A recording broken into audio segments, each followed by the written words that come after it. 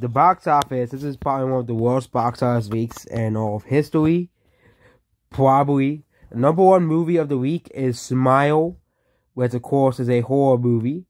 This movie is gonna eventually make back its money. Its budget's only $17 million. This is a movie that is gonna probably break even second weekend because it's a movie that didn't really cost all too much. It's doing okay. It's internationally enough for it to make back its money, unlike some other movies where they're still struggling kind of internationally, despite the releasing now finally internationally as well. So yeah, Smile, $46 million, a pretty successful movie the already. So yeah. Next is Don't Worry Darling. This movie is still a box office failure. It's doing horribly legs wise. This movie had had a huge amount of box backlash to it. Which they were telling this movie as a major movie too. They were telling this like this is like one of the big movies of the year, but you know, it, it has backlash to it. It's not a power franchise. It's a big, big drawback. You also have, you know, the economic downturn that's going on right now. You know, as well, and you even kind of saw a dip in the box office in July when inflation went really high. For Thunder, again, not a good movie, but DC League of Super Pets underperformed. Maybe because of inflation, because people didn't want to go see anything.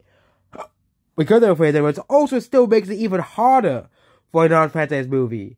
It's even even higher. This is what the problem of how, but this movie is that I don't think this movie is that great, but this is a problem modern day Hollywood.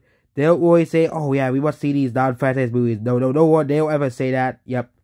Yeah, they say big watch big franchise movie. No, actually they promote whatever movies come out. So, but nobody watches. It's the general audience that doesn't want to see him. Next is the Woman King. Again, this movie needs to make 125 million dollars to break even. It has only mustered 50 million dollars. It it is released internationally finally, but it's not really doing too well in those markets. It was released in Brazil and France, and it's not really doing all too well in Brazil and France. It's not really doing too well in Brazil. It's doing pretty okay in Brazil, but in France, it's not really doing too well. It's not. He's not really doing. Oh, it's oh, it's doing okay in Nigeria.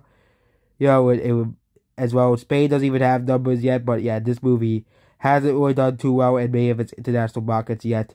And it's gonna continue reseeding it. Uh, the it may yeah the international performance is abysmal to say at least. So yeah, the Woman King is not gonna make back its money like the rest was probably hoping it would.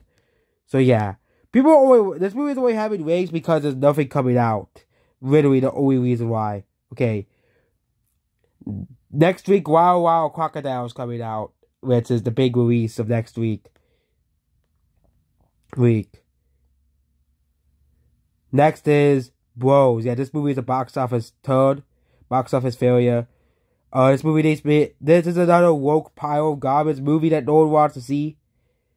The reason is all internationally throughout the next month, but considering this this movie's poor domestic performance, you know, as well, they'll say, "Oh my god, but man, but Bridesmaids, producer Bridesmaids, hundred million dollar grossing movie." Okay, nobody wants to watch these woke garbage movies. Okay, you know, people are sick of them. Nobody wants to watch them. Okay, no one wants to watch these types of movies. People want good movies with good stories, good characters, not these woke garbage movies. Bros is performing very, is even performing worse than Booksmart. Okay, it's performing even worse than Booksmart. Booksmart didn't really do too well either. So yeah. Next is Avatar's release. Avatar's release has pulled Avatar to one point two point nine billion dollars. Was the drop off was around fifty five percent, but but this re-release shows that there is some audience, some existing fan base, at least a small one for Avatar. There are some people who are interested in Avatar: The Way of the Water. Well, I think it'll make. I don't think Avatar Two will make three billion dollars though. It's not gonna make three billion dollars. They're not gonna get the Whitney. They're not gonna get the Whitney in the bottle twice.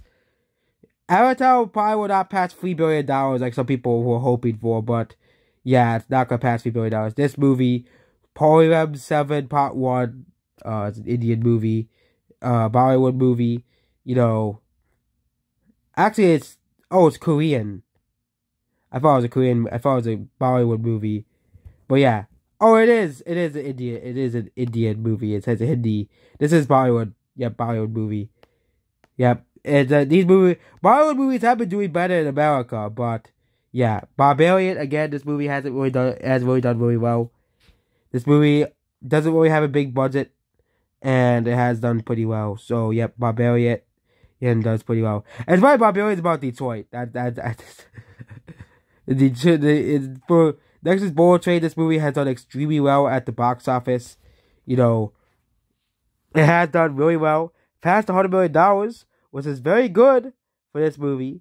It has done pretty okay internationally as well, which is pretty good for this movie. This movie has made money, has broken even, and is a successful movie.